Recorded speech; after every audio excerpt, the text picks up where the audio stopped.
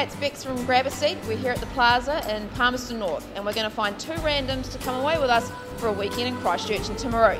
They're going to get hooked up at Amazon, so let's see who we can find. Would you do it? Um, maybe. Take that as a possible no. Oh my god, it would be like a dream. So, who are you going to bring with you? My mum. Okay, we'll get on the phone now and see if you can get out of this job and come with us.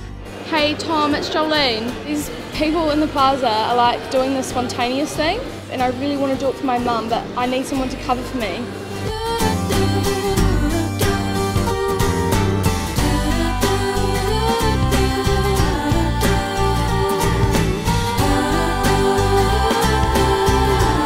The way that they're recovering and working together is just another reason for everyone to go there as well.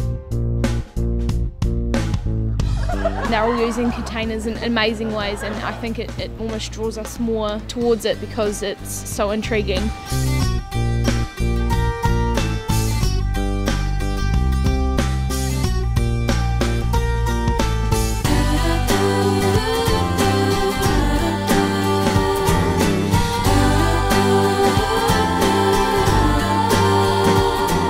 At the moment, we're sitting on top of Mount Sunday that's played a special part in Lord of the Rings because this is where the Golden Hall was placed.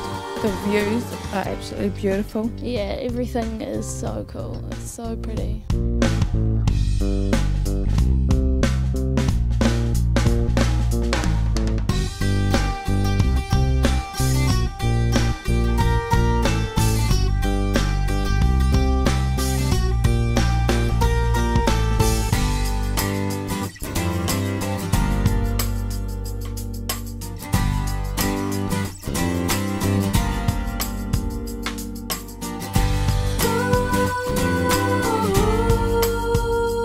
Definitely more inspired to go and see a lot more of New Zealand now after this trip.